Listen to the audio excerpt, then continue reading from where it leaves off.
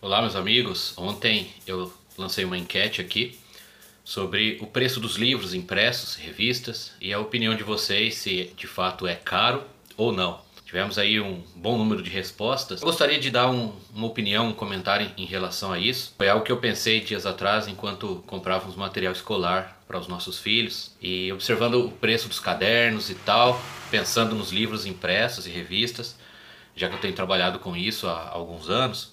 Então cadernos assim, desse estilo, entre 13 e 35 reais.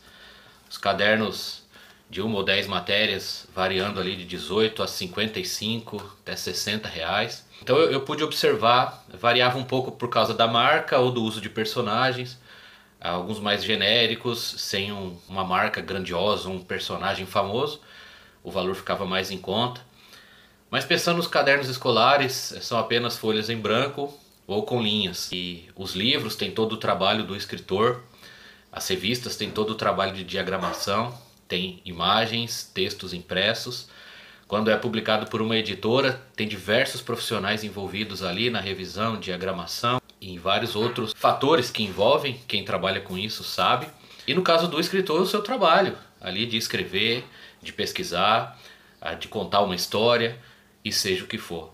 Em média, os livros impressos e revistas ficam ali entre 25 e 50 reais. As nossas revistas, muito além dos videogames, elas ficam ali em torno de 30 reais, a maioria está abaixo disso. Uma delas está acima porque tem muitas páginas, tem 52 páginas. E as grandes, é impossível, é preço das gráficas, colocar menos do que 40 reais. E não tem, não tem jeito. Então se você trabalha um pouco com gráfica, vai imprimir folhas para um trabalho, para uma pesquisa, algum projeto, cada impressão ali um, dois reais. Então eu só queria comentar que de fato o preço dos livros e revistas impressos não é caro.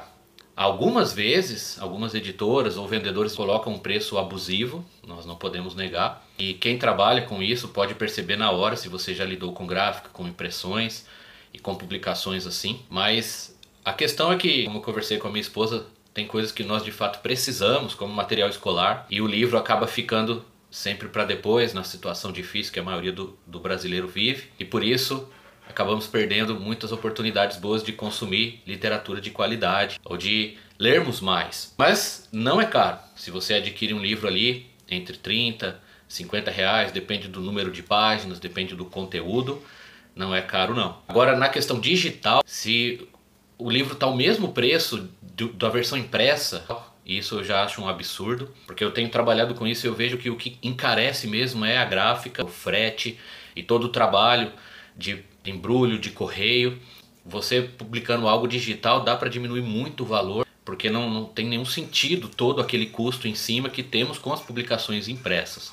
Então só uma reflexão aqui, uma opinião, e não sei se você pensa como eu, é uma forma de valorizar também os escritores independentes e também as editoras que fazem um trabalho honesto e colocam um valor justo ali diante daquilo que eles produzem. Faça um esforço, vale a pena é, ler mais, adquirir as publicações, apoiar ah, o projeto ah, das pessoas que ainda produzem literatura impressa aqui no nosso país. Forte abraço a todos, Deus abençoe.